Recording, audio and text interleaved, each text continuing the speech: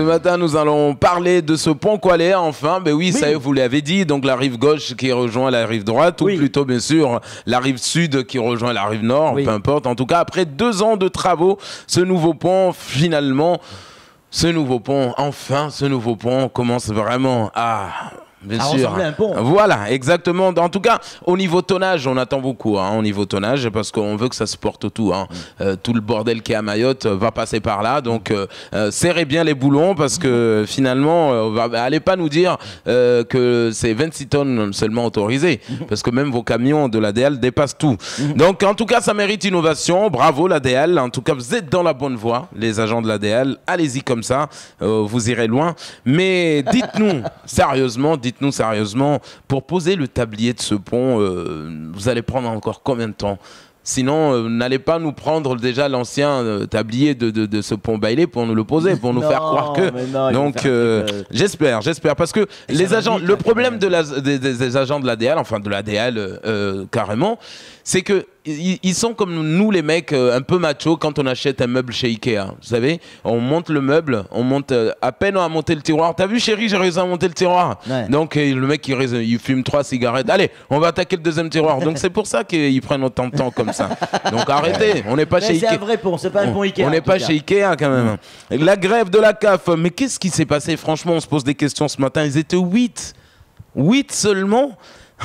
J'imagine Madame Cazel. Alors, celui ou celle qui ira faire grève, euh, euh, qui ira rejoindre Kamal, euh, verra sa prime reversée à un autre agent de la Réunion. Attention. Donc, euh, j'espère que pour Noël, vous y avez pensé, parce que la prime de Noël ira directement à la Réunion.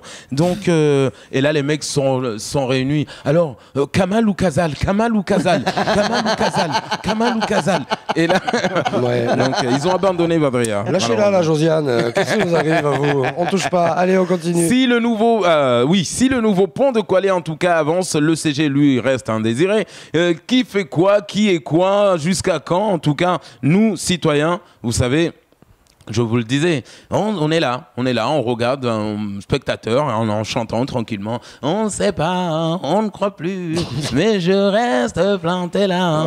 Les lois ne font plus les hommes, mais quelques hommes au CG font la loi. Bien sûr, exactement. Donc du coup, hein. exactement. Et ça, et ça vous étonne en plus que euh, à chaque fois qu'on tire la chasse, la chasse d'eau au Conseil général, oh, arrêtez avec ça. Arrêtez. Il y, a de la merde qui monte. Non, là, Allez, vite, vite, alias libérez-les les tuyaux. les parents d'élèves de l'école de Mzambo 3 ont fermé l'école, mais vous avez raison, vous avez raison. Franchement, un institut qui fait l'école buissonnière, franchement, ça c'était à l'époque. Mais le type, ben oui, un jour d'ailleurs, il croise un de ses élèves qui dit Monsieur, bonjour, monsieur, bonjour. Mais t'es qui toi? Mais je suis Combo, je suis dans votre classe. Ah bon? Je ne le savais pas. Et le mec, il, va être reçu par le vice-recteur. Justifiez un peu vos absences là, monsieur? Et là, ben, j'ai fait de l'exode rural. L'exode rural. Ouais, tous les fonctionnaires sont à Mamoudzou, donc forcément. Et puis, vous l'avez. C'est pas vrai, il a été muté en Guyane. vous l'avez, vous l'avez reçu euh, dans pas longtemps. Il s'agit de général. Comment on, comment on prononce? Loakano, Loakono Loaikono. Loaikono. Eh bien, mon général, avant votre arrivée, déjà, il y avait un autre général qui était venu inspecter comme ça, bien sûr, le GSMA. Et ce jour-là, il y avait un de, bien sûr, de, de, de, des de GSMA, en fait, qui ne sait pas trop parler le français mmh. et qui ne le comprend pas vraiment. Donc, du coup, il y avait un petit, des, petits questionnaires comme ça. Alors, euh, vous savez combien de temps vous êtes là, machin, moi Donc, il entend son collègue qui répond au général. Oh, moi, ça fait trois ans que je suis là, trois ans. Ah oui quand même. Et vous avez quel âge? Et le, gars, il dit 33 ans. 33 ans. Et vous pratiquez euh, l'armée de l'air, l'armée de terre? Il dit les deux à la fois. Donc le con, comme il comprend pas, il a pris les mêmes réponses.